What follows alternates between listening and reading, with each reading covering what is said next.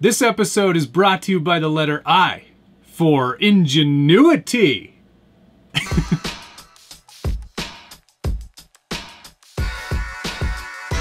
Welcome back to the Scale Builders Guild. Thanks again for watching. It's Throwback Thursday episode 2 and we are continuing efforts to bring back the RC10. This is an original RC10, an Edinger unit from what I've been able to discover on the internet. Much thanks to RC10 Talk, a really great forum full of lots of knowledgeable members. And I've had a ton of folks reach out and actually help me and send me parts, which is so amazing. I cannot thank you all enough for doing that. There are some pretty vintagey things on this car and it's getting harder and harder to find all the parts needed to make this thing work. Of course, because this thing was made in like 1980 something, it's been a very long time since uh, there's been anything released. And uh, going through the manual, which I have right here, has been, uh, you know, eye-opening. there were some interesting solutions. Uh, not a lot of bearings were used. Oilite uh, bushings, I think was what they used more frequently in these cars back in the day. Uh, now, thanks to Fast Eddie Bearings, uh, who have quite handily put together a Team Associated RC10 Classic sealed bearing kit uh, which really helps in the overall construction of this vehicle, makes things a lot smoother and a lot more efficient. Um, so what you're seeing here now is essentially the completed chassis. There's a few more elements that still need to be put on, mostly because I don't have them yet. Uh, and uh, what is here is a great example of all original parts, except for a few things, and you're probably seeing them right away.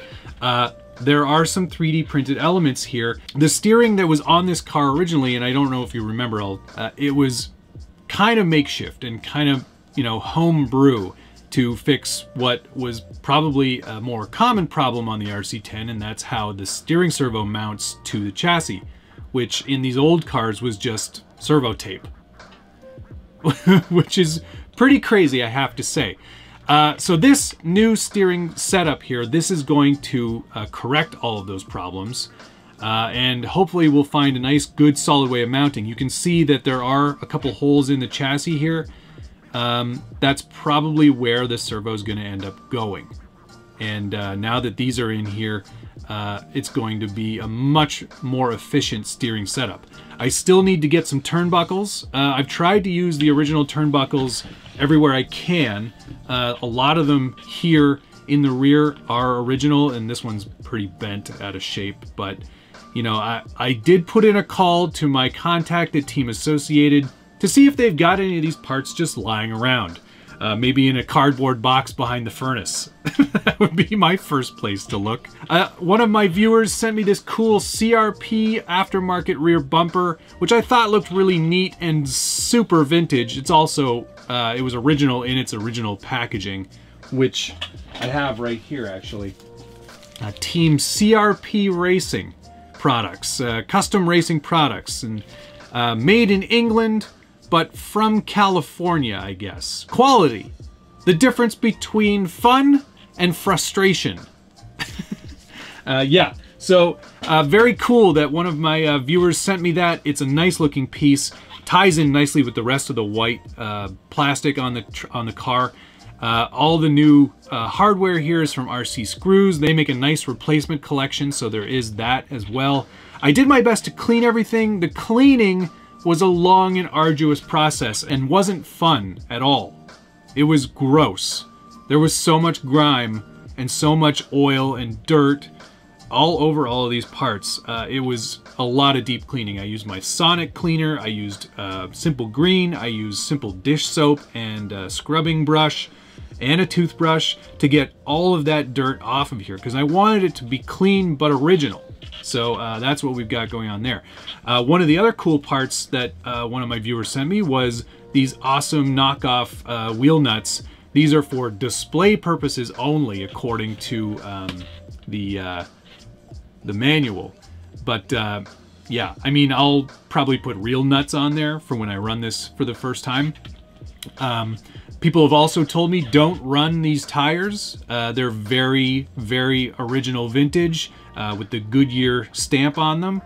Um, but I don't know, man. I mean, I bought this car to run it, so let's run it, right? Anyway, um, so yeah, uh, transmission went together flawlessly. It was actually in really, really, really good shape. Uh, I don't think this car was run a ton, and you can tell by uh, looking at the underside. There's not a lot of abuse going on there. It's actually pretty clean overall, which is really, really nice to see. Um, so I don't think it was run a ton, uh, and it wasn't run hard when it was run. So it's in pretty decent shape overall. Battery tray still there. There's a bit of a notch cut out of it, which is kind of annoying. Um, but otherwise, pretty clean, pretty much complete, except for a few turnbuckles. Uh, the right hand side or passenger side steering block uh, wasn't included. There was some like random uh, other steering block put on there. So uh, this is what I've got on there for now. 3D uh, printed from Thingiverse. Again, um, just very lucky that I found that piece actually, because I don't I don't think it's uh, something that I'll be able to find new old stock. We'll see. Um, but if I do, and I know that some of my viewers have already contacted me about that, uh, hopefully we'll get a replacement piece uh, and then we can build the rest of that front uh, axle stub and be done with the front and uh, that'll be good. I think that's probably it um, for now anyway. There's a lot more to come of course and uh, oh I should actually show you the body that I got. This is an associated Mirage body. It's not an original. Uh, it's from a company called Penguin Racing Products, and they, it's obviously a repop. It looks like uh, they did like a resin cast of the original body and then vacuum formed a bunch of other ones. Uh, but it's close enough. It's a cool looking body, and I think it'll be a nice match for the vintage kind of era that I'm going for with this car. Uh, yeah, I've got no ideas on how to paint this body whatsoever. So if you've got any ideas, by all means, post them down below in the comments. I'm looking for something kind of vintage, kind of cool, uh, something that's kind of representative of the era, but with a modern touch. So if you've got any ideas, post them down below. And of course, if you're liking this video, hit the like button, subscribe if you haven't already, and hit that notification bell so you get updates anytime there's a new video from the Scale Builders Guild. So yeah, uh, things are progressing really nicely. I'm really pleased with uh, how much this car can be original. Uh, it's pretty amazing, I have to say, for something as old as this is, to be in such decent condition. And uh, I'm really excited to take it to that next step and start working on the shocks. Uh, those need a lot of cleaning and rebuilding.